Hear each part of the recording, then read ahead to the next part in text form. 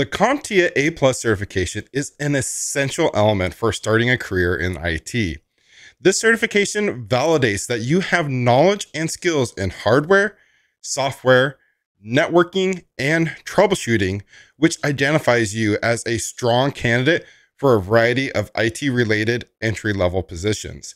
The CompTIA A Plus is recognized by IT employers and can be a significant boost to your job and earning prospects in the IT field.